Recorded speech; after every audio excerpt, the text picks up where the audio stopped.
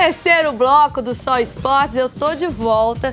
E é só alegria aqui no intervalo, né, gente? Você nem imagina o que, que acontece por aqui. A gente tem que rir de Ramon Salgado, de Paulo, porque a briga que rola aqui no ar rola no intervalo do mesmo jeito. É, é, é, Paulo Roberto e Ramon Salgado, os caras são. Tem que rir dela, viu, Ó, gente? uma Ah. dica pra você para descontrair Casa do EPI. Lá você encontra a linha completa para sua proteção e construção. E um detalhe para você que está procurando emprego: a Casa do EPI está contratando vendedores internos e também representantes comerciais.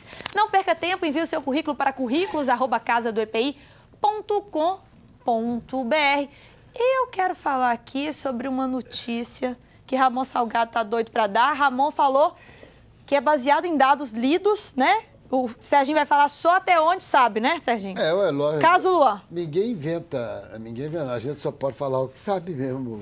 O que saiu, né? O que tá saiu. No, O que que saiu? tá no É, Globo. Globoesporte.com, que o Atlético Sorocaba é, veio através do seu vice-presidente Vice-presidente. Valdir Cipriani, e ele já colocou a boca no trombone que vai cobrar do Atlético 800 mil reais, que há 15 meses está atrasado.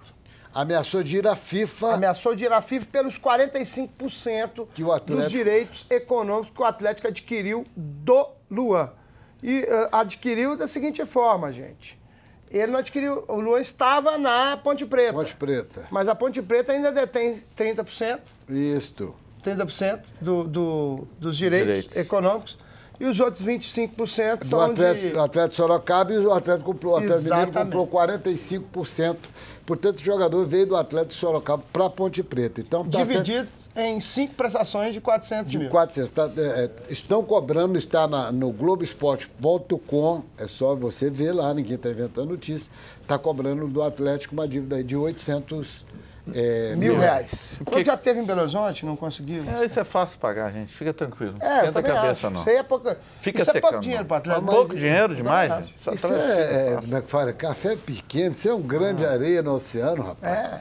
Não, só que é notícia, notícia infelizmente já está aí para ser dada. E qualquer dúvida, viu, pessoal, aqui, ó, ao homem do Money. Só encostar aqui que. Pode falar aí que eu pago esse trem. aí. Pronto, aí, ó, compromisso E eu quero saber se vocês viram quem foi campeão pela Série D do Também, Campeonato em Brasileiro. cima do Brasil de Pelotas. Jogo dramático, né, gente? Bacana, viu? Venceu, subiu. Você esperava esse jogo? Olha aí, olha o lance. Você esperava isso, Eu Sérgio? esperava sim. Esperava que o- a Tombense subisse, sim. Em jogo dramático aí contra o Brasil de Pelota, o time mineiro levou a melhor nos pênaltis. Zero a zero Durante nos os 90 minutos, nada de gols. Precisou das disputas de pênaltis aí pra garantir, né, Durante Sérgio? 180 minutos, né? Quem empatou lá É. também. Lá também Isso. 0 a 0 O grande detalhe é que esse jogo foi disputado em Moriaé. E aí, na porque cobrança não de tem- pênalti, Ramon, não, os gaúchos desperdiçaram duas vezes e o time de Tombos saiu vitorioso por 4 a 2 Que bacana, É, foi, cara. foi um negócio sensacional. Levaram esse jogo para Muriaé porque a capacidade do estádio de Tombos, Sérgio, uma vergonha, 3 mil torcedores. Então não teve jeito. Parabéns. É a primeira conquista nacional desse, desse time. Que é novo. Novo, tem. É do empresário Eduardo Duran. É do Duran? É do Uran. Uran? Ivan e o Uran. presidente tá de parabéns. Acho que é três anos tem cidade. esse time, quatro, cinco anos, coisa assim. Trabalho, eu conheço bem o trabalho da Tombense lá, já fui lá no estádio. Pequenininho, Muito né, legal. Paulo? Pequenininha, cidade pequena. Pequena cidade, Mas é um trabalho muito profissional que eles fazem lá. Parabéns mesmo. A cidade deve estar em festa. Foi para a Série. C. Série C. E se o Tombo se deu bem, viu, gente? Tombo não, Tombo. eu sou Não, mas a Tombo. cidade é Tombos. Tombos, a time cidade de é Tombos. A cidade chama Tombo? É, isso aí. Tombos. Ao Tombense. Só você que fica tomando tombo, tombo, tombo aí, não sabe o que, que Ah, mas significa é porque tombos. você só Ah. vê as pingas que eu bebo, os tombos que eu levo, você não vê. Mas aí. Nem eu sei, porque você nem lembra, né? Você só vê quando você tá Ué, cheio de só as no outro dia, tomo né? E os tombos que eu levo. Ó. Hein, Sérgio? E se tombo se deu bem, né, gente? O Boa deu aquela escorregada lá no Castelão. Com gols relâmpagos, o Sampaio dominou e venceu o Boa Esporte por 3 a 0. Vamos dar umas olhadinhas aí, vamos bisoiar os gols aí. Viu o jogo, viu, Yara? Também vi. Viu o jogo e eu tava irreconhecível, boa. É, é, os caras foram pra cima, em seguida, logo, acho que três minutos, fez um gol. Nossa, olha aí, gente. O Boa que vinha bem, né? Que É, ensaboada. G4. A gente, falta, falta vontade. O Boa com empate continuava no G4. É um negócio impressionante. Incrível. Ficaria em quarto lugar, não é Mas isso? hoje o Boa estava disputando aquela vaga com a América? Não, Não, o- a América tá. A América tem oitava. A América tá a dois pontos do G4, mas tem um punhado de gente na frente dele. Mas já tem de classificado.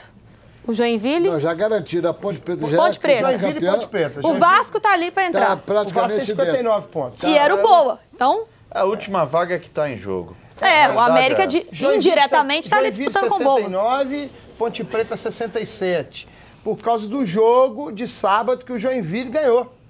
Na Arena Joinville ganhou de 3 a 1 da Ponte Preta. Da Ponte Preta, isso mesmo. Então, é, 69, 67, Não, o 59. Joinville já está garantida a Joinville divisão. e a Ponte Preta. Estão garantidos na primeira divisão. matematicamente. Ó, então vamos dar uma olhadinha nos gols, porque o América, já que nós estamos falando dele, venceu o Havaí por 3 a 0 Vamos dar uma olhadinha aí. E venceu bem.